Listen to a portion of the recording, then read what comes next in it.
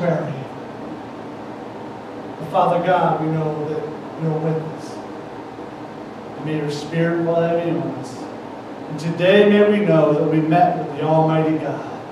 Amen and amen. I want to welcome you to church.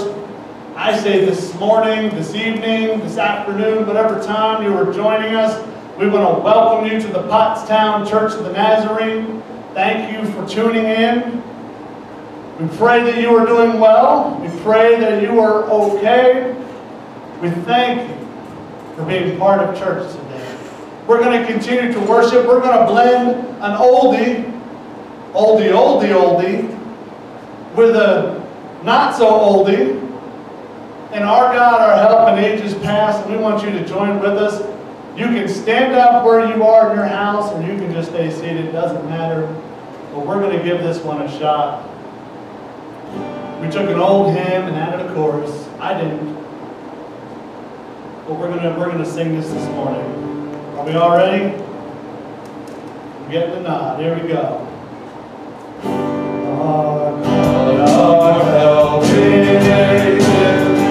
No, no, no, we were off.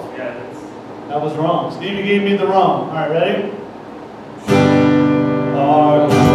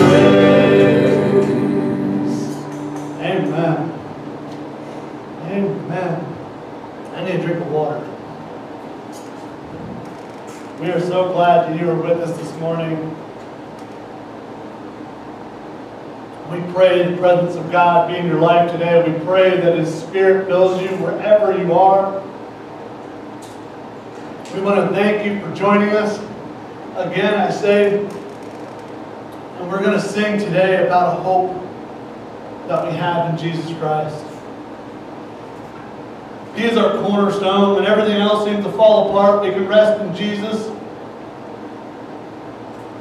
He is our cornerstone. When everything seems to be going south, we can rest in Jesus. When the storms come, we can rest in Jesus. We know that when all else fails, the cornerstone will always be there that we can lean on. My hope is built on nothing less than Jesus' blood and righteousness. I dare not trust the sweetest frame, but wholly trust in Jesus' name. It's in Jesus Christ we come to today. Hope is built nothing less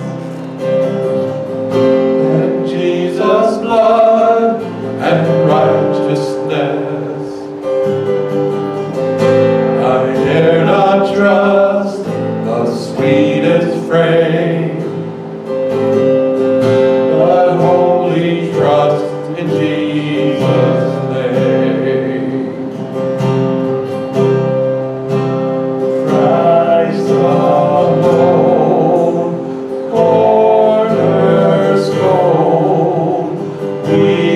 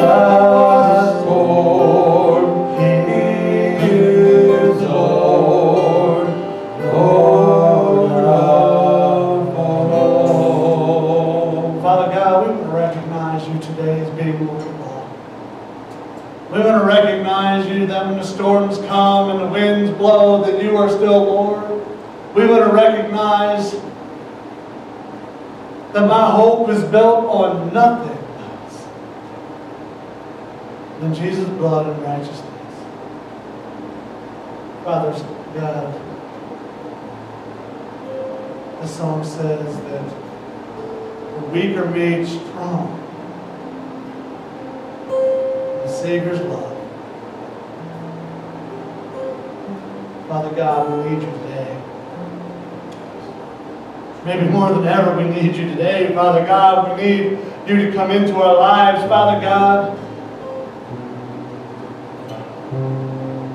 Father God, we need you to pick us up from where we are. We need you to show us the way.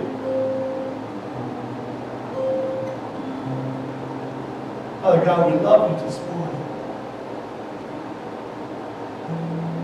Father God, we recognize today that our world is broken. We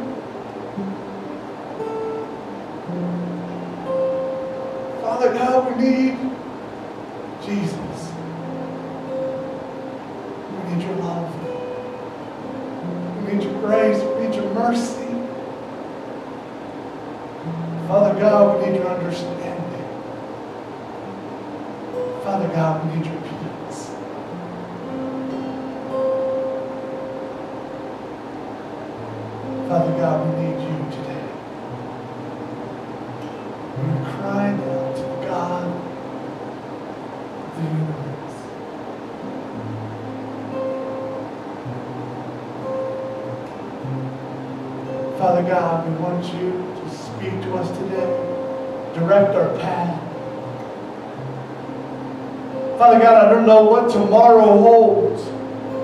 I don't know what tomorrow holds for this world. I don't know what tomorrow holds for this church. But Father God, I know that you are in control. I know that you are the God who is guiding and directing. And you are the God who is going to put us where you need us to be, Father God.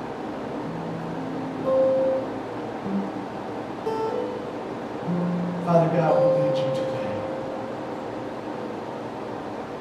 We pray for those who are still dealing with this sickness. We pray for Father God, we pray for.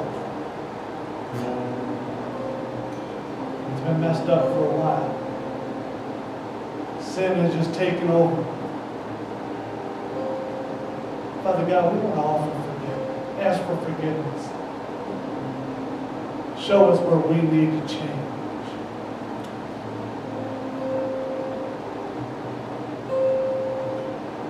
Father God, show us where we can help.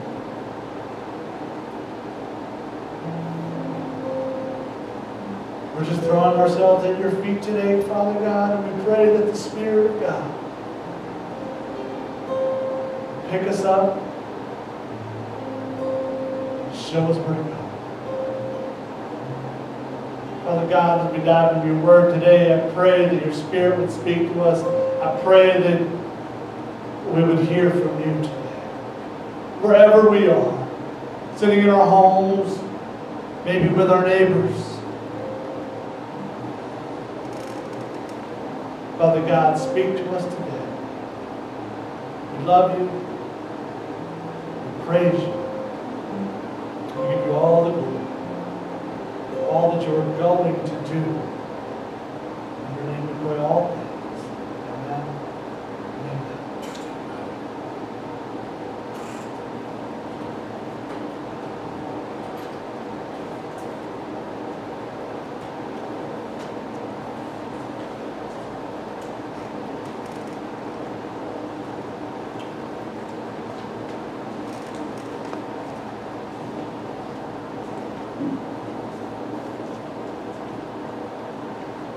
keep telling myself one of these days I'm going to walk off this platform without crying.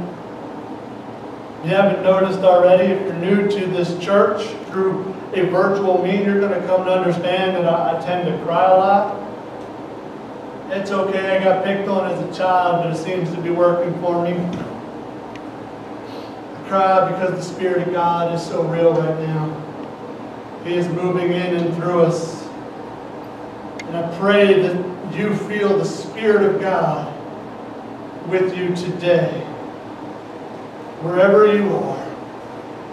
May the Spirit of God fall fresh on you. We talked last week a little bit about Pentecost and how the power of the Almighty God came down from heaven and rested on His people. In a world that is broken, in a world that needs Jesus, I pray that the Spirit of God falls heavy on us today. Began looking at a passage of Scripture, and God said, Look at another one. And I found myself in Matthew chapter 24. If you have your scriptures today, you can turn to Matthew chapter 24. But I first, I want to tell you a story. I want to tell you a story of Mike and Johnny. You don't know Mike and you don't know Johnny. Two teenage boys, they live down the street from each other. They know each other because their parents work together and become good friends. Johnny and Mike, they're two adolescent boys, the eldest of their household, as far as children are concerned. They have siblings that look up to them as all young siblings do. They look up to their older brothers. One day, the boy's parents came to them and said, We are going out. We've been working real hard. We've been parenting real well. It's time for parents to have a night out. They had arranged a beautiful dinner to go to. They were going to have a beautiful dinner at a beautiful location. And from there, they were going to the theater. Not the movies, the theater. For anybody under the age of like 20 watching this, you can look up what, or ask your parents what a theater is. Not a movies, but a theater.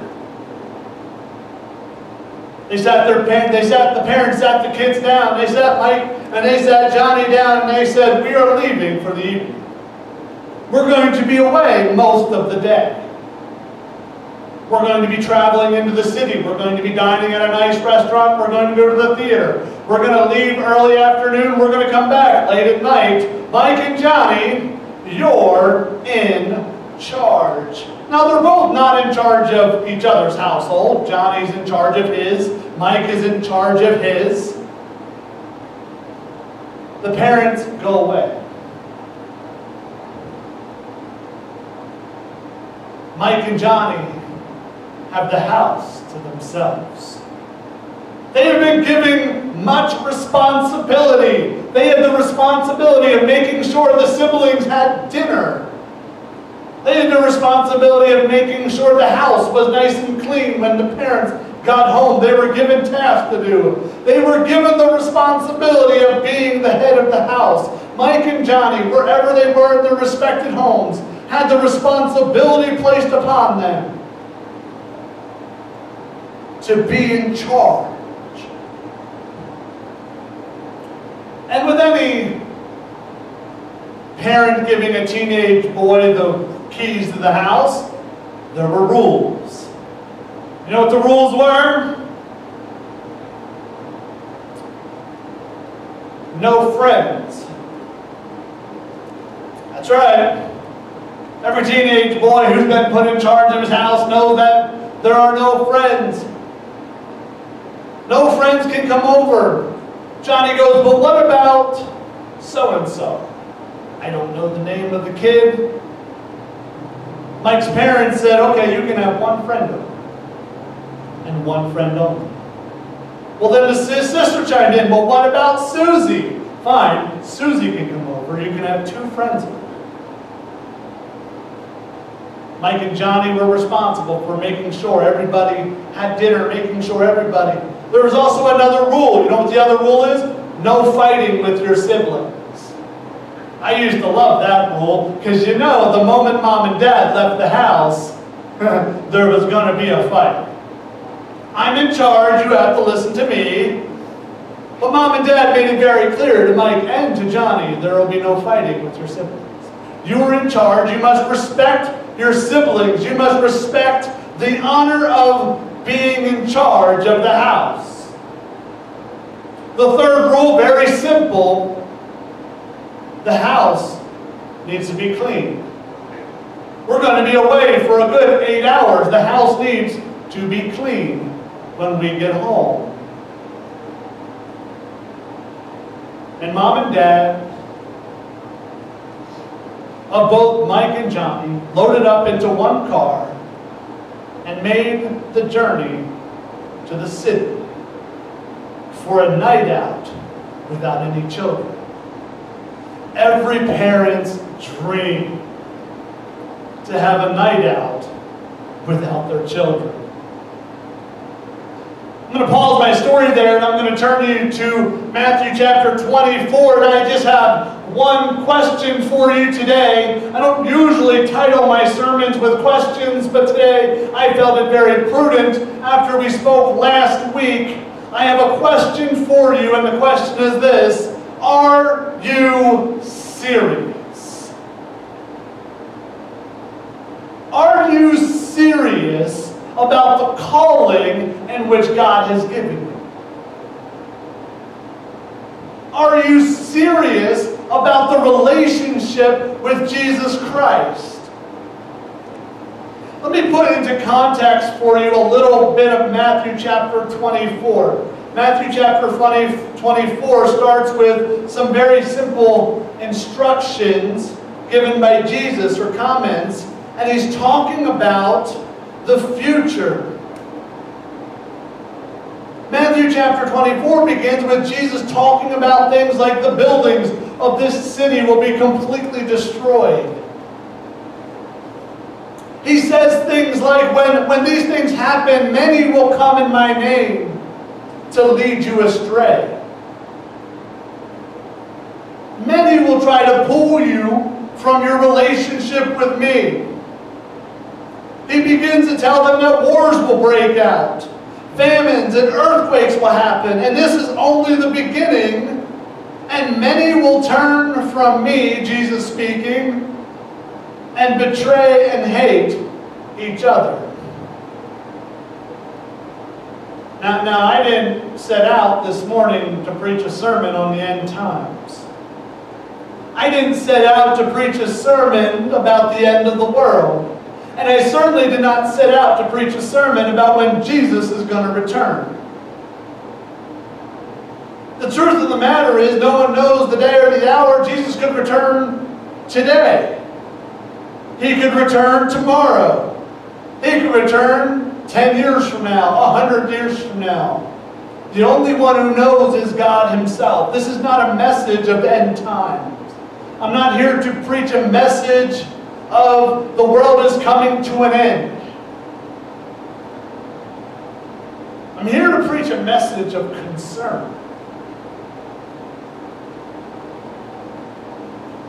Concern. Are we taking our responsibilities seriously? For the last several weeks, I've been preaching this idea that we have been called by God. We have been called for a higher purpose. We have been set apart for, for ministering the gospel. Last week, I preached about Matthew 28, where Jesus says, Go and make disciples. Go make disciples to all nations. And today, I want to ask you are we taking the message seriously? I asked my wife a question as we were watching the news today, this week. Part of me was being a little facetious. The other part of me was absolutely serious. I looked at my wife and I said, Are you ready to meet Jesus? Most of you know my wife. If you don't, don't know my wife, my wife is a lifelong Nazarene, grew up in the church, spent her life dedicated to the church. I know beyond a shadow of a doubt if my wife would die, she's going to heaven. She's going to be with Jesus. But I looked at my wife and I said, Are you ready to meet Jesus? It's been on my mind, it's been on my heart. Do your friends know Jesus? Does your family know Jesus? Does your community know Jesus? Because if the end times don't come tomorrow, they may come soon. No one is guaranteed tomorrow. Are we taking our responsibility seriously? It's a message of concern. I've been preaching about being different. I've been preaching about being set apart. I've been preaching for a very long time about the message that Jesus has given us that we are not to just come to church and congregate, but we are to reach out to the community, we are to reach out to our world. The question is, are we taking the message seriously? As we continue through Matthew chapter 24, we get to verse 36. And in Matthew chapter 24, beginning at verse 36, Jesus makes some very, very crucial points. I believe he is telling three. He is telling us three distinct points. In Matthew chapter 24, 30, verse 36, he says, Be alert. Verse 26, 36 says, No one knows the day the Lord will return. I don't know, you don't know, Jesus himself does know, the angels don't know, God himself is the only one who knows, but he will send Jesus back. The question is, are you alert? Are you ready?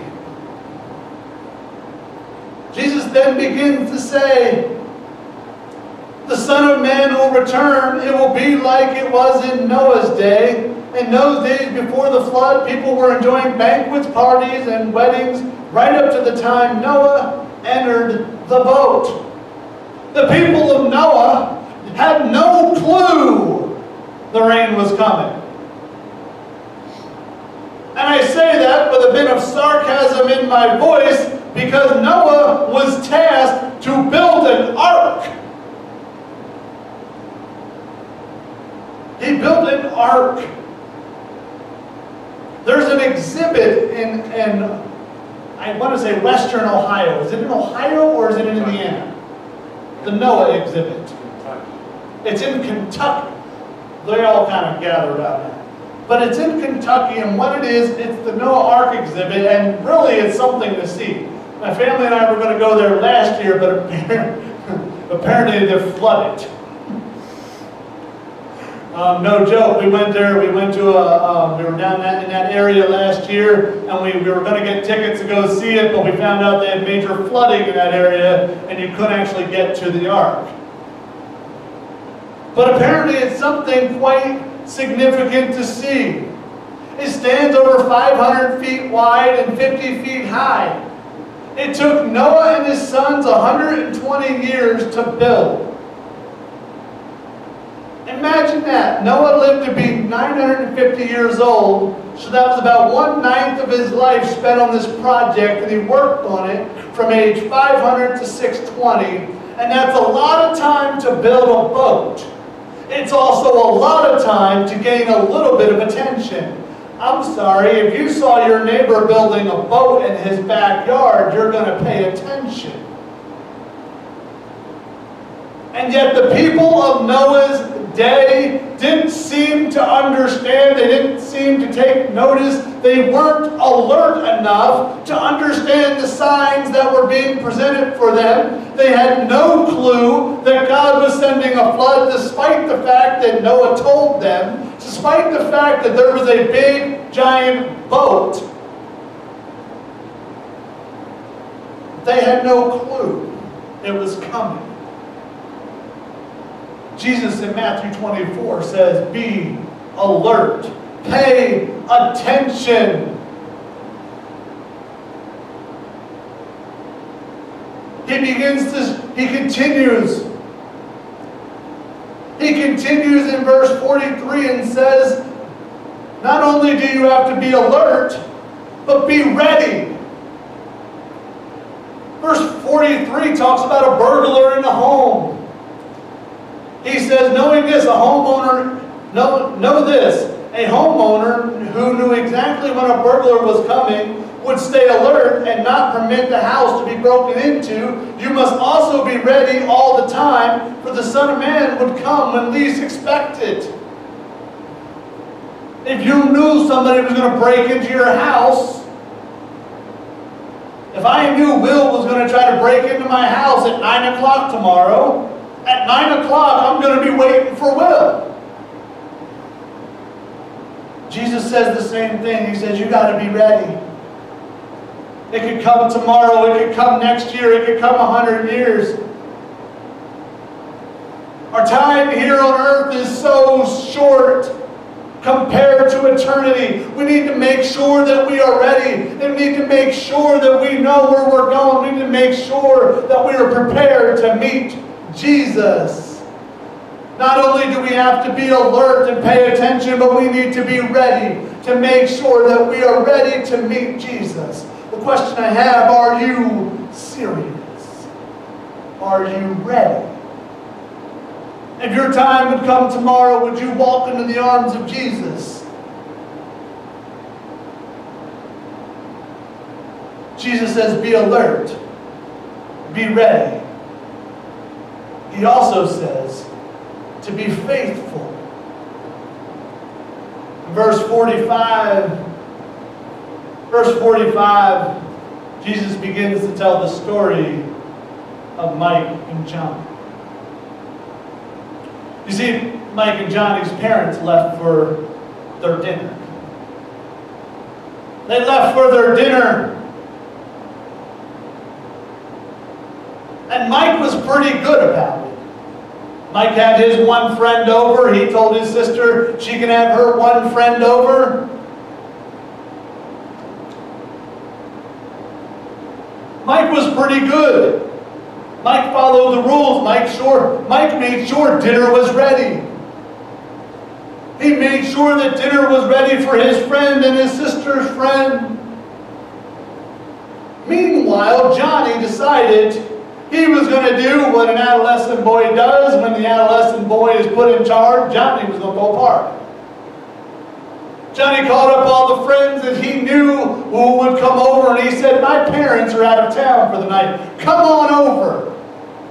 And one by one, Johnny's friends came over, and pretty soon the house was full. Johnny's friends invited friends, and their friends invited other friends.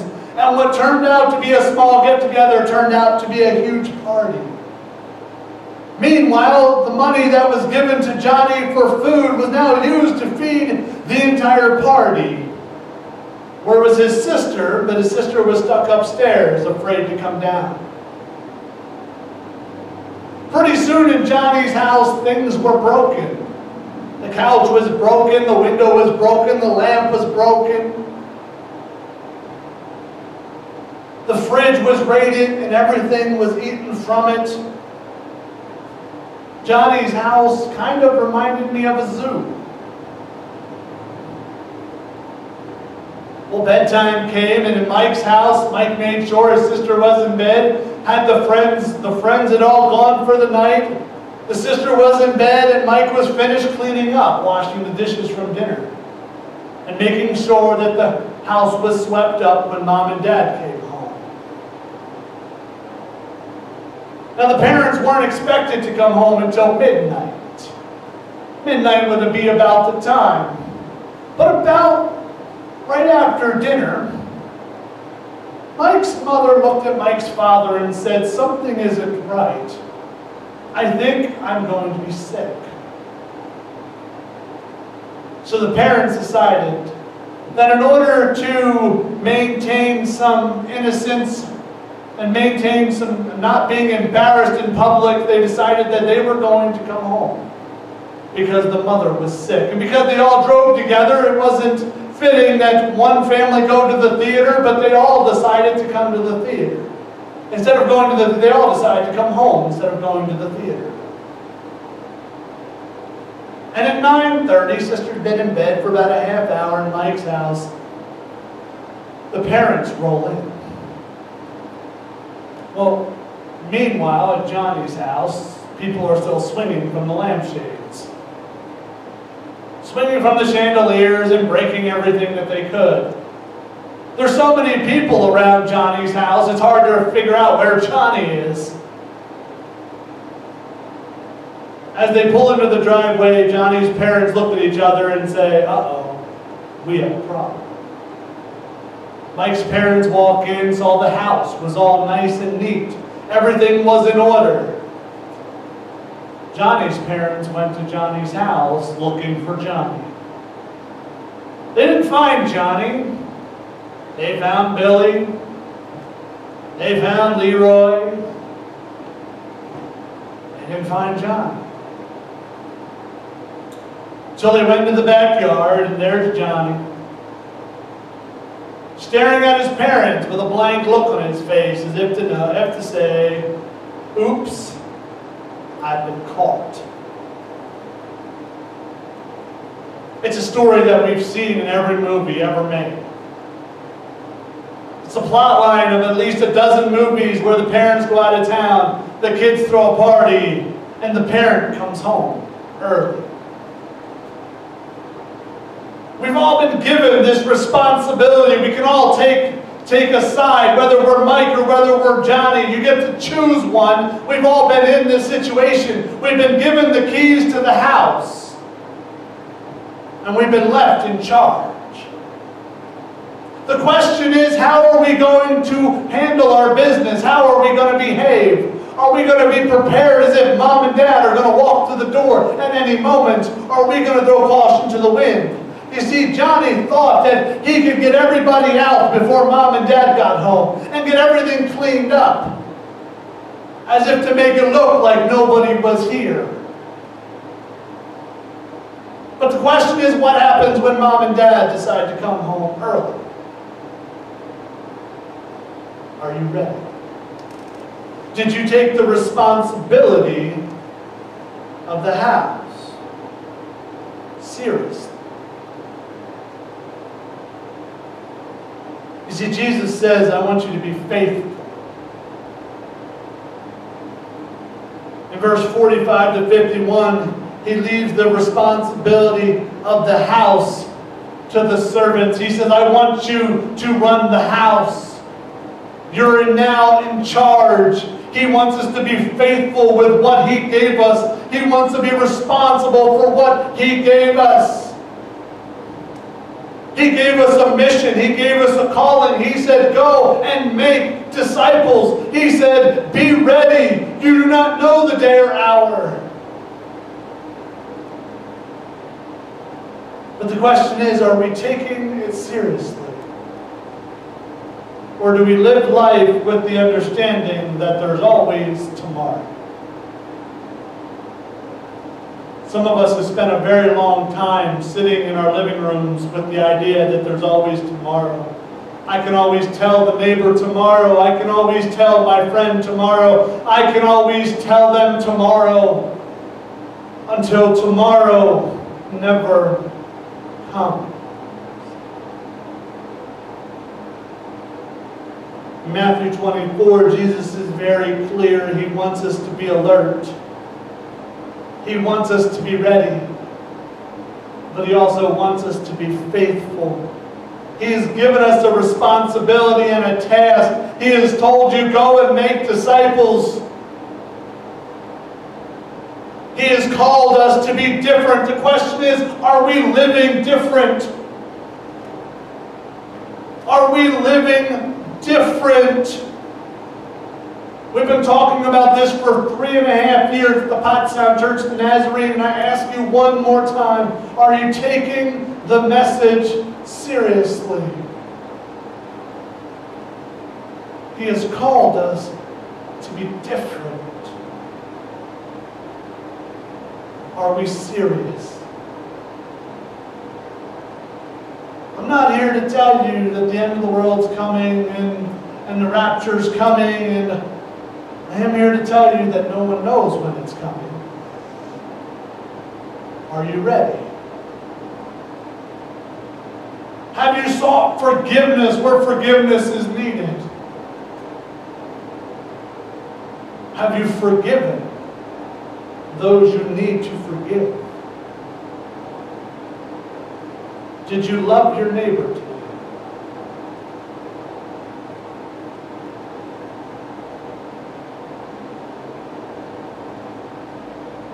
My heart broke today. My, my heart's been breaking this week. My heart's breaking. And I ask you,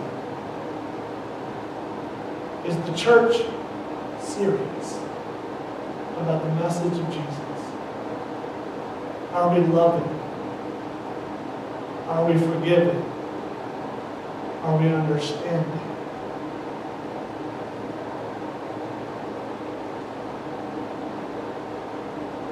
I don't usually title my sermons with a question, but very simply, are you serious? You see, I believe that we are called for more. I believe that Jesus has a bigger plan for us. He says, be alert. He says, be ready. But he also says, be faithful. He's given you a call. He's given us a mission. Are we serious? I'm going to pray for us today. And as I do, I want those thoughts to run through your mind. I want the Spirit of God to fall on you. Are you taking the message of Jesus Christ seriously? Or you, uh, I'll do it tomorrow person? Even though tomorrow we never know. Let's pray. Father God, we thank you, we love you, we give you all the praise and glory for all that you do in our lives. And Father, we, we reflect right now. Father God, we reflect right now because we know if we were to be honest with ourselves, we haven't been doing all that you asked us to do. We haven't been living lives like you asked us to live. Father God, we just we need you today. Open our eyes, God. Open our eyes. Let us see the lives we are living in and how we need to change. Open our hearts, God.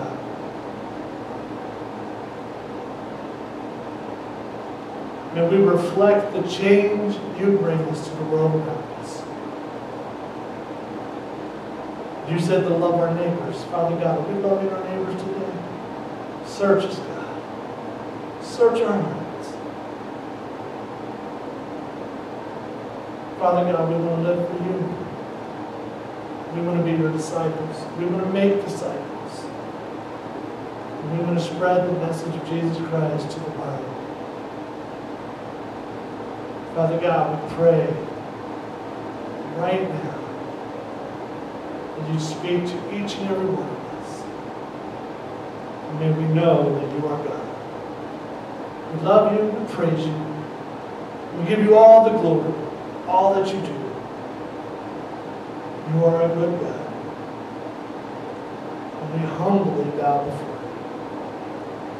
In your name we pray all things. Amen.